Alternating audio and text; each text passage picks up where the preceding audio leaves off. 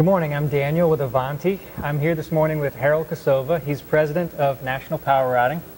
Thanks for meeting with me. Appreciate it. Um, you've been in the industry for a long time. When, when did you come into the grouting market? Came into the grouting market in 1962 1962. when we developed the grouting. That was the beginning of That was the very beginning. municipal grouting. Yeah. And what was the need at that time? Why did you, why were you part of developing this? There was a contractor in uh, Cottonwood Falls, Kansas, that put in a sewer line alongside of a hill, and it was 25 feet deep, and the joints were leaking. Okay. At the same time, ironically, uh, American Cyanamid had come about through their chemistries developing this uh, grout that none of us were familiar with except American Cyanamid. We had the television camera in which to be able to um, uh, put the, any kind of equipment inside the sewer line in order to try to solve these problems of infiltration. And they had the need. We both got together and we tried to learn more about grouting, which was really a, now it's comical. It wasn't comical then.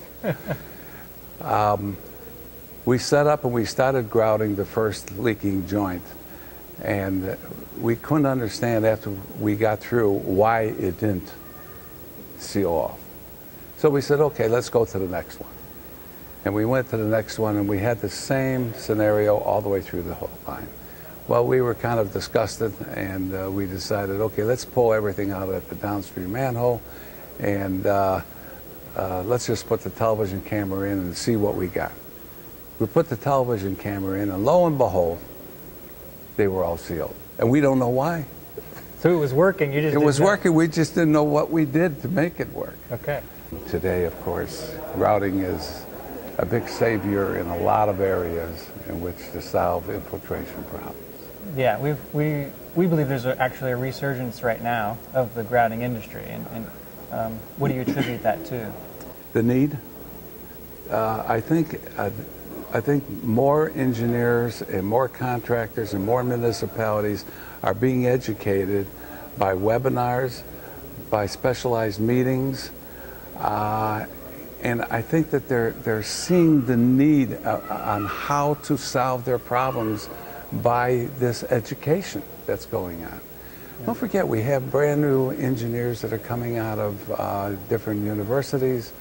Uh, they're, they're taking their position in the industry, but they too have got to be taught what is grouting? How does it work? When will it work?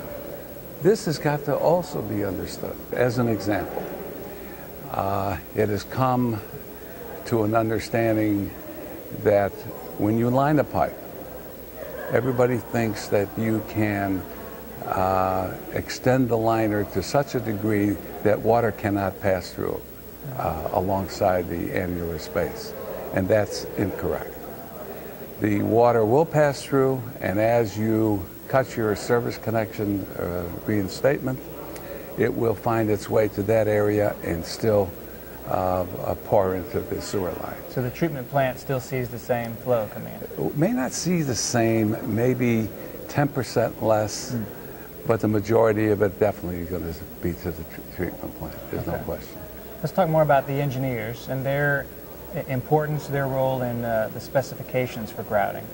It is extremely important that an engineer knows enough about grouting so that the specification reflects um, the, how it's to be applied, when it's to be applied, what type of materials to be used as far as grout, um, where do these lines uh, lie? Are they along a riverbed? Are they on the streets?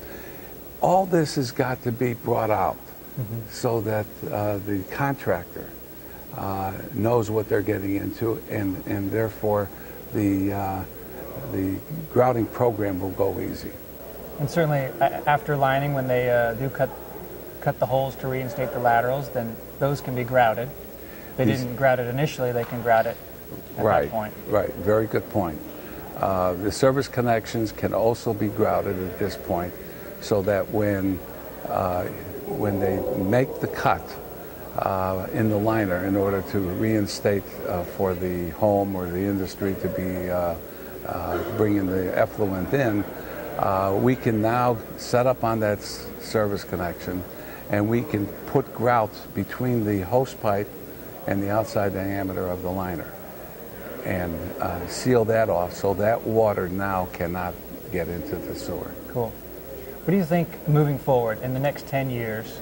Um, what do you believe the industry needs to continue growing? Further education. There are always new people coming into the industry. We need further education. Um, we, we need more webinars. We need more uh, classroom uh, activity. Okay. I think it's very important. It's, uh, you're passionate about your staff respecting the chemicals and uh, taking care of themselves. Can you talk a little bit about that? Sure can. Uh, we all got to remember that we are dealing with chemicals. In the grouting industry, you got to be very careful. Housekeeping becomes a very, very important part of the grouting operation. Um, and, and I think uh, Avanti has got to uh, address this issue and uh, make sure that all contractors that are buying material have got to understand on what the dangers are Sure. so that we all are in a safe environment. Sure. Cool. Good point. So Good point. Thank you for your time. you're very welcome.